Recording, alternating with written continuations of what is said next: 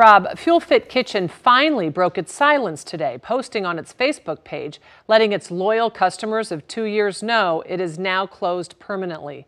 That news, though, doesn't sit well for those customers who have unredeemed gift cards and for at least one former employee who is still trying to get paid. It's upsetting. I I really like that job, honestly. I really did like that job. Up until Zaida Mendez says Fuel Fit Kitchen stopped paying her.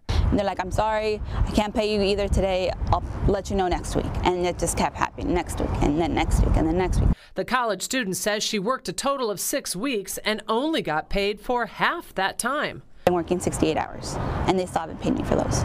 Mendez says something didn't seem right from the beginning. She says she didn't fill out a W 2 tax form and says they paid her in cash. Everything just wasn't making sense. But Mendez showed us a text message received from her former manager Monday. Hi, Zaida. We have not forgotten about you and we intend to pay you.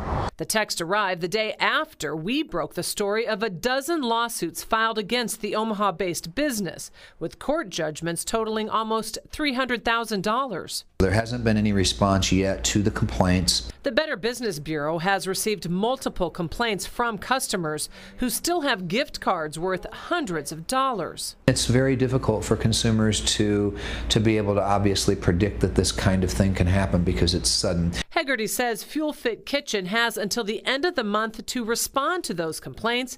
If it doesn't, the business will get an F rating. The only choice that we have is to refer those complainants to law enforcement. Fuel Fit Kitchen posted this Facebook message Tuesday afternoon. It has since been taken down.